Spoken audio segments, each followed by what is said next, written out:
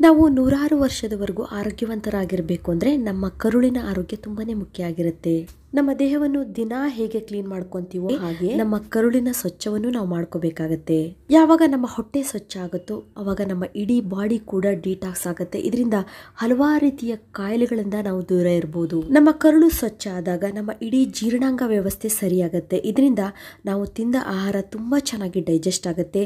ನಾವು ಏನು ಆಹಾರವನ್ನು ತಿಂದಿರ್ತೀವೋ ಆ ಆಹಾರದಲ್ಲಿರುವಂತಹ ಎಲ್ಲ ನ್ಯೂಟ್ರಿಯೆಂಟ್ಸ್ಗಳ ಅಬ್ಸರ್ವೇಷನ್ ಕೂಡ ತುಂಬಾ ಚೆನ್ನಾಗಾಗುತ್ತೆ. ಅದಲ್ಲದೆ ಇದು ನಮ್ಮ ದೇಹಕ್ಕೆ ಬೇಡವಾದಂತಹ ಕೆಟ್ಟ ಟಾಕ್ಸಿನ್ ಅನ್ನು ಕೂಡ ಹೊರಹಾಕತ್ತೆ.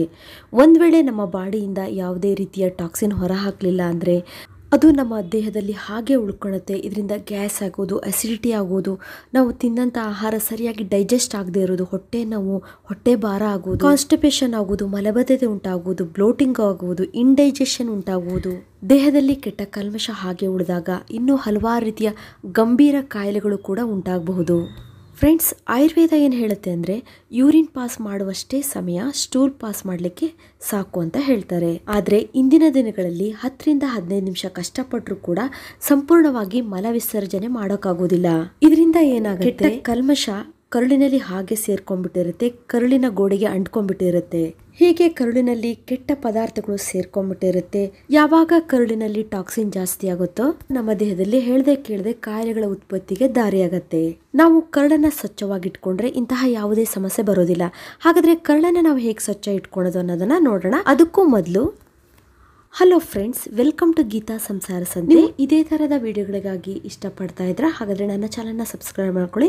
ಮತ್ತು ಪಕ್ಕದಲ್ಲಿ ಒಂದು ಬೆಲ್ ಐಕನ್ ಇರುತ್ತೆ ಅದನ್ನು ಪ್ರೆಸ್ ಮಾಡಿ ನನ್ನ ಎಲ್ಲ ಹೊಸ ವಿಡಿಯೋಗಳ ನೋಟಿಫಿಕೇಶನ್ ನಿಮಗೆ ಫಸ್ಟ್ ತಲುಪುತ್ತೆ. ಕರಳನ್ನು ಸ್ವಚ್ಛ ಮಾಡಲಿಕ್ಕೆ ಫಸ್ಟ್ ಏನು ಮಾಡಬೇಕು ಅಂದರೆ ಬೆಳಗ್ಗೆ ಎದ್ದ ತಕ್ಷಣ ನಾವು ಡೈಲಿ ನೀರನ್ನು ಕುಡಿತೀವಲ್ಲ ಉಗುರು ಬೆಚ್ಚಗಿನ ನೀರಾಗಿರಲಿ ಇಲ್ಲ ನೀವು ತಣ್ಣೀರನ್ನು ಕುಡಿತಾ ಇದ್ರೆ ತಣ್ಣೀರಿಗೆ ಒಂದು ಹೋಳು ಅಂದರೆ ಅರ್ಧ ಹೋಳು ಲಿಂಬೆಹಣ್ಣನ್ನು ನಾವು ಹಿಂಡ್ಕೊಳ್ಬೇಕು. ಯಾರಿಗೆ ಗ್ಯಾಸ್ ಅಥವಾ ಆಸಿಡಿಟಿ ಇರುತ್ತೆ, ಅವರು ಅರ್ಧ ಸ್ಪೂನಷ್ಟು ಲಿಂಬೆಹಣ್ಣಿನ ರಸವನ್ನು ಸೇರಿಸ್ಕೊಂಡ್ರೆ ಸಾಕು. ಈಗ ಲಿಂಬೆಹಣ್ಣಿನ ನೀರು ತಯಾರಾಯ್ತಲ್ವಾ? ಇದನ್ನು ನಾವು ಸಿಪ್ ಬೈ ಸಿಪ್ ನಿಧಾನವಾಗಿ ಬೆಳಗ್ಗೆ ಎದ್ದ ತಕ್ಷಣ ಖಾಲಿ ಹೊಟ್ಟೆಯಲ್ಲಿ ಕುಡಿಬೇಕು. ಈ ರೀತಿ ನಾವು ಲೆಮನ್ ಜ್ಯೂಸ್ ಕುಡಿಯೋದ್ರಿಂದ ನಮ್ಮ ಡೈಜೆಷನ್ ಸಿಸ್ಟಮ್ ಸ್ಟಿಮ್ಯುಲೇಟ್ ಆಗುತ್ತೆ. ನಮ್ಮ ಬಾಡಿಯಲ್ಲಿರುವಂತಹ ಟಾಕ್ಸಿನ್ ಎಲ್ಲ ಹೊರಹಾಕ್ಲಿಕ್ಕೆ ಶುರು ಮಾಡುತ್ತೆ. ಇದರಿಂದ ನಮಗೆ ಲೈಟ್ ವೆಯ್ಟ್ ಫೀಲ್ ಆಗ್ತಾ ಇರುತ್ತೆ. ನಾವು ಫ್ರೆಶ್ ಅಪ್ ಆಗ್ತೀವಿ. ಲಿಂಬೆ ಹಣ್ಣಿನಲ್ಲಿರುವಂಥ ವಿಟಮಿನ್ ಸಿ ಅಂಶ ನಮ್ಮ ಸೆಲ್ಸ್ ಅನ್ನ ರಿಪೇರ್ ಮಾಡುತ್ತೆ ಮತ್ತೆ ನಮ್ಮ ಇಮ್ಯುನಿಟಿನ ಬೂಸ್ಟ್ ಮಾಡುತ್ತೆ. ಅದಲ್ಲದೆ ನಮ್ಮ ಸ್ಕಿನ್ ಅನ್ನ ಬ್ಲಡ್ ವೆಸಲ್ಸ್ ಅನ್ನ ಬೋನ್ಸ್ ಅನ್ನ ಹೆಲ್ದಿ ಆಗಿರಲಿಕ್ಕೆ ಇದು ತುಂಬಾನೇ ಹೆಲ್ಪ್ ಮಾಡುತ್ತೆ. ಈ ಲಿಂಬೆಹಣ್ಣಿನ ಜ್ಯೂಸ್ ಕುಡಿದ್ಮೇಲೆ ಅರ್ಧ ಗಂಟೆವರೆಗೂ ನೀವೇನನ್ನು ತೆಗೆದುಕೊಳ್ಬಾರ್ದು. ಆ ಟೈಮಲ್ಲಿ ನೀವು ಯೋಗ ಮಾಡೋದು ಎಕ್ಸಸೈಸ್ ಮಾಡೋದು, ವಾಕಿಂಗ್ ಮಾಡೋದು, ಮೆಡಿಟೇಷನ್ ಮಾಡೋದು, ಇಂತಹ ಎಲ್ಲ ಚಟುವಟಿಕೆಗಳನ್ನು ಮಾಡಬಹುದು ಅರ್ಧ ಗಂಟೆ ಆದ ಮೇಲೆ ನೀವು ಅಲವೇರದ ಜೆಲ್ ಅನ್ನ ಸೇವನೆ ಮಾಡಬೇಕು. ಅಲವೇರದ ರಸ ಬರುತ್ತಲ್ಲ ಜೆಲ್, ಅದನ್ನ ನಾವು ತೆಗೆದುಕೊಳ್ಬೇಕು. ಅಲವೇರದ ಜೆಲ್ ತುಂಬಾನೇ ನಮ್ಮ ಆರೋಗ್ಯಕ್ಕೆ ಒಳ್ಳೆಯದು ಇಲ್ಲಿರುವಂಥ ಫ್ರೆಶ್ ಅಲ್ವೇರಾ ಇದ್ದರೆ ತುಂಬಾ ಒಳ್ಳೆಯದು ಅದಕ್ಕೆ ನಾನು ಯಾವಾಗಲೂ ಹೇಳ್ತಾ ಇರ್ತೀನಿ, ಮನೆಯಲ್ಲಿ ಅಲ್ವೇರಾದ ಗಿಡವನ್ನು ಬೆಳೆಸ್ಕೊಳ್ಳಿ ಅಂತ ಹೇಳಿ. ಈ ರೀತಿ ನೀವು ಅಲ್ವೇರವನ್ನು ಮಧ್ಯದಲ್ಲಿ ಕಟ್ ಮಾಡಿ, ಆ ಮಧ್ಯದಲ್ಲಿ ಜೆಲ್ ಸಿಗತ್ತೆ, ಅಲ್ವೇರದ ಜೆಲ್ ಈ ಅಲ್ವೇರ ಜೆಲ್ಲನ್ನು ನೀವು ಒಂದು ಸ್ಪೂನ್ ಆಗುವಷ್ಟು ನೀರಿನೊಂದಿಗೆ ತೆಗೆದುಕೊಳ್ಬೇಕು. ಈ ಅಲ್ವೇರಾ ಕರುಳಿನ ಗುಡೆಗೆ ಅಂಟಿರುವಂಥ ಕಲ್ಮಶವನ್ನು ಹೊರಹಾಕಲಿಕ್ಕೆ ತುಂಬ ಸಹಾಯ ಮಾಡುತ್ತೆ. ಅಂದರೆ ಬಾಡಿಯಲ್ಲಿ ಡಿಟಾಕ್ಸಿಫಿಕೇಶನ್ ಪ್ರೋಸೆಸನ್ನು ಇದು ಹೆಚ್ಚು ಮಾಡುತ್ತೆ. ಅದಲ್ಲದೆ ಹೊಟ್ಟೆ ಉರಿತಾ ಇದ್ರೆ, ಎದೆ ಉರಿತಾ ಇದ್ರೆ ಇಂತಹ ಎಲ್ಲ ಸಮಸ್ಯೆಯನ್ನು ಕಡಿಮೆ ಮಾಡುವಂಥ ಗುಣ ಈ ಅಲ್ವೆರಕ್ಕಿದೆ ಈ ಅಲ್ವೆರಾ ಜೆಲ್ ಒಂದು ಸ್ಪೂನ್ ತಿಂದಾದ್ಮೇಲೆ ಅರ್ಧ ಗಂಟೆವರೆಗೂ ಮತ್ತೆ ಏನನ್ನು ತೆಗೆದುಕೊಳ್ಬಾರ್ದು. ಅರ್ಧ ಗಂಟೆ ಆದಮೇಲೆ ಬೆಳಗಿನ ಟಿಫನನ್ನು ನಾವು ತಗೊಳ್ಬೇಕು. ಬೆಳಗಿನ ಟಿಫನ್ ಹೇಗಿರಬೇಕು ಅಂದರೆ ಬೆಳಗ್ಗೆ ನಾವು ಸ್ಟಾರ್ಟಿಂಗಲ್ಲಿ ಫ್ರೆಶ್ ಆದಂಥ ಫ್ರೂಟ್ಸ್ಗಳನ್ನು ತಗೊಳ್ಬೇಕು. ಯಾವುದೇ ಫ್ರೂಟ್ಸ್ ಆಗಿರಲಿ, ಇಲ್ಲ ಮಿಕ್ಸ್ಡ್ ಫ್ರೂಟ್ಸ್ ಆದರೂ ಪರವಾಗಿಲ್ಲ. ಒಂದು ಬೌಲ್ ಆಗಷ್ಟು ನಿಮಗಿಷ್ಟ ಆಗುವಂಥ ಹಣ್ಣುಗಳನ್ನು ಸೇವನೆ ಮಾಡಿ. ಒಂದು ವೇಳೆ ಶುಗರ್ ಪೇಷಂಟ್ ಆಗಿದ್ದರೆ ಅವರು ಪಪ್ಪಾಯಿ, ಪೇರ್ಲ ಹಣ್ಣು, ಅಂಥ ಹಣ್ಣುಗಳನ್ನೆಲ್ಲ ಸೇವನೆ ಮಾಡ್ಬೋದು. ಹಣ್ಣುಗಳಲ್ಲಿ ರಿಚ್ ಆದಂಥ ಆ್ಯಂಟಿ ಆಕ್ಸಿಡೆಂಟ್ಸ್ ತುಂಬಾ ಇದೆ. ಈ ಆ್ಯಂಟಿ ಆಕ್ಸಿಡೆಂಟ್ಸ್ಗಳು ಜೀವಕೋಶಗಳಲ್ಲಿರುವಂಥ ಫ್ರೀ ರ್ಯಾಡಿಕಲ್ಸನ್ನು ರಿಮೂವ್ ಮಾಡುತ್ತೆ, ಮತ್ತೆ ಜೀವಕೋಶಗಳನ್ನು ರಿಪೇರಿ ಮಾಡುತ್ತೆ. ಹಣ್ಣನ್ನು ನೀವು ಎಷ್ಟು ಸೇವನೆ ಮಾಡಬೇಕು ಅಂದರೆ ಒಂದು ದೊಡ್ಡ ಬೌಲ್ ಆಗುವಷ್ಟು ಹಣ್ಣನ್ನು ಸೇವನೆ ಮಾಡಬೇಕು. ಇದ್ರ ಜೊತೆಗೆ ಒಂದು ಬೌಲ್ ಉಪ್ಪಿಟ್ಟು, ಅಂದರೆ ಅದರಲ್ಲಿ ಆಯಿಲನ್ನು ಕಡಿಮೆ ಯೂಸ್ ಮಾಡಿರಬೇಕು. ಜೊತೆಗೆ ಸಿಂಪಲ್ ಆಗಿ ಮಾಡಿರುವಂಥ ಹೆಸರುಬೇಳೆ ಕಿಚಡಿ, ಇಲ್ಲ ಓಟ್ಸನ್ನಾದರೂ ನೀವು ತೆಗೆದುಕೊಳ್ಬೋದು. ಬೆಳಗ್ಗೆ ಬೆಳಗ್ಗೆ ಎದ್ದ ತಕ್ಷಣ ನಾವು ಹಣ್ಣುಗಳ ಸೇವನೆ ಮಾಡೋದ್ರಿಂದ ನಮ್ಮ ಬಾಡಿಗೆ ತುಂಬಾ ನ್ಯೂಟ್ರಿಯೆಂಟ್ಸ್ ಸಿಗುತ್ತೆ, ಅದರಲ್ಲಿ ವಿಟಮಿನ್ ಸಿಗುತ್ತೆ ಮಿನರಲ್ ಸಿಗುತ್ತೆ.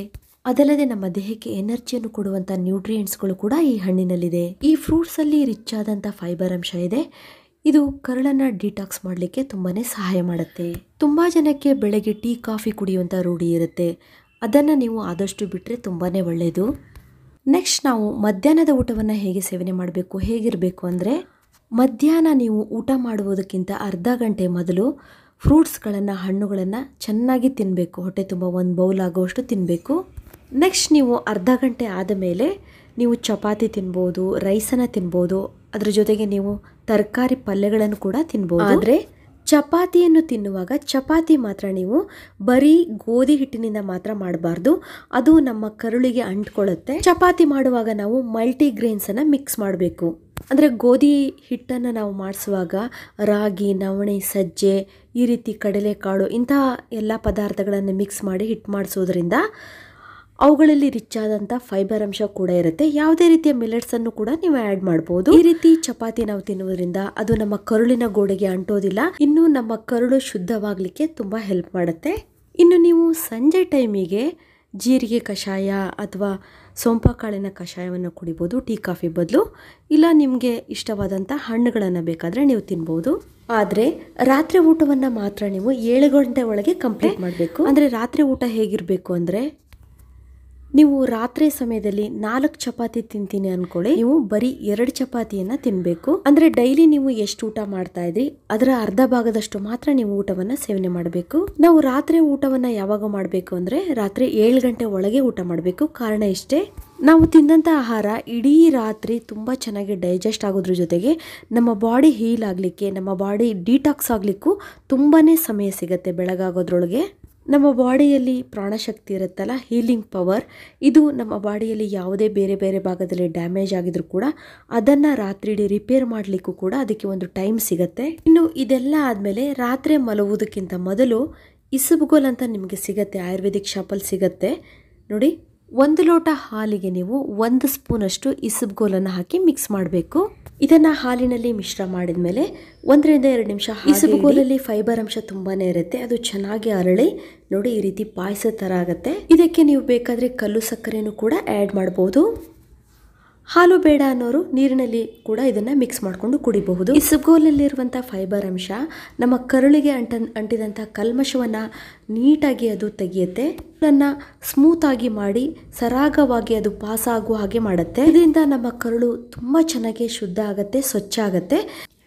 ಅದಲ್ಲದೆ ಇಸ್ಬುಗೋಲ್ ಸೇವನೆ ಮಾಡೋದ್ರಿಂದ ಕೊಲೆಸ್ಟ್ರಾಲ್ ಕೂಡ ಕಡಿಮೆ ಆಗುತ್ತೆ. ಶುಗರನ್ನು ರೆಗ್ಯುಲೇಟ್ ಮಾಡುವಂಥ ಗುಣ ಕೂಡ ಈ ಇಸ್ಬುಗೋಲಿಗಿದೆ ಅದೇ ಇಸುಬ್ಗೋಲ್ ಸೇವನೆ ಮಾಡ್ತಾ ಬಂದರೆ ನಮ್ಮ ಬಜ್ಜನ್ನು ಕೂಡ ಇದು ಕರಗಿಸುತ್ತೆ. ಬೆಲ್ಲಿ ಫ್ಯಾಟನ್ನು ಸಣ್ಣ ಮಾಡುವಂಥ ಗುಣ ಕೂಡ ಈ ಸುಬ್ಕೋಲಿಗಿದೆ ಇದನ್ನು ನೀವು ಹಾಲಿನಲ್ಲಿ ಮಿಶ್ರ ಮಾಡಿ ಕುಡಿಯೋದ್ರಿಂದ ಯಾವುದೇ ರೀತಿಯ ಸೈಡ್ ಎಫೆಕ್ಟ್ ಆಗೋದಿಲ್ಲ ಇದರಲ್ಲಿ ಝೀರೋ ಕ್ಯಾಲೋರೀಸ್ ಇದೆ. ಜೊತೆಗೆ ನಮ್ಮ ಹೊಟ್ಟೆ ಹಸುವನ್ನು ಕೂಡ ಇದು ಕಡಿಮೆ ಮಾಡುತ್ತೆ. ಇವಾಗ ನೀವು ನೋಡಿದ್ರಲ್ಲ, ಬೆಳಗ್ಗೆಯಿಂದ ರಾತ್ರಿವರೆಗೂ ಯಾವ ಯಾವ ಆಹಾರ ಪದಾರ್ಥಗಳನ್ನು ಯಾವ ಟೈಮಿಗೆ ತಗೊಳ್ಬೇಕು ಅಂತ ಹೇಳಿ ಈ ರೋಟಿನನ್ನು ನೀವು ಫಾಲೋ ಮಾಡಿ. ತಿಂಗಳಲ್ಲಿ ಏಳು ದಿವಸ ಈ ರುಟೀನನ್ನು ಫಾಲೋ ಮಾಡಿದರೆ ಪಿರಿಯಾಡಿಕಲಿ ನಿಮ್ಮ ಬಾಡಿ ಡಿಟಾಕ್ಸಿಫೈ ಆಗ್ತಾ ಹೋಗುತ್ತೆ. ಇದರಿಂದ ಬೇರೆ ಬೇರೆ ಗಂಭೀರ ಕಾಯಿಲೆಗಳಿಂದ ನೀವು ಬಚಾವಾಗ್ಬೋದು, ಅದರಿಂದ ದೂರ ಆಗ್ಬೋದು. ಅದೇ ಇನ್ಮುಂದೆ ಯಾವುದೇ ರೀತಿಯ ಕಾನ್ಸ್ಟಿಪೇಷನ್ ಆಗೋದಾಗ್ಲಿ, ಜೀರ್ಣಾಂಗ ವ್ಯೂಹಕ್ಕೆ ಸಂಬಂಧಪಟ್ಟ ಸಮಸ್ಯೆ ಆಗೋದಾಗ್ಲಿ ಉಂಟಾಗುವುದಿಲ್ಲ. ಈ ರೋಟೀನನ್ನು ನೀವು ಫಾಲೋ ಮಾಡೋದ್ರಿಂದ ಒಂದು ಒಳ್ಳೆಯ ಲಾಭ ನಿಮಗೆ ಉಂಟಾಗುತ್ತೆ. ಮೊದಲನೇ ಲಾಭ ಅಂದರೆ ನಿಮ್ಮ ಡೈಜೆಷನ್ ಸಿಸ್ಟಮ್ ತುಂಬ ಚೆನ್ನಾಗಿ ಇಂಪ್ರೂವ್ ಆಗುತ್ತೆ. ಮಾಡಿದಂತಹ ಆಹಾರದಲ್ಲಿರುವ ಎಲ್ಲ ನ್ಯೂಟ್ರಿಯೆಂಟ್ಸ್ಗಳು ತುಂಬ ಜನಕ್ಕೆ ನಮ್ಮ ಬಾಡಿ ಅಬ್ಸರ್ವ್ ಮಾಡುತ್ತೆ. ಈ ಸಿಂಪಲ್ ಆದಂಥ ರೋಟೀನನ್ನು ಫಾಲೋ ಮಾಡೋದ್ರಿಂದ ಎಷ್ಟೇ ವರ್ಷಗಳಿಂದ ನಿಮಗೆ ಹೊಟ್ಟೆಗೆ ಸಂಬಂಧಪಟ್ಟ ಯಾವುದೇ ಸಮಸ್ಯೆ ಇದ್ರೂ ಕೂಡ ಸಂಪೂರ್ಣವಾಗಿ ಕಡಿಮೆ ಆಗುತ್ತೆ. ತುಂಬಾ ಚೆನ್ನಾಗಿ ನೀವು ಆ್ಯಕ್ಟಿವ್ ಆಗ್ತೀರಾ ಹೆಂಗಾಗ್ತೀರಾ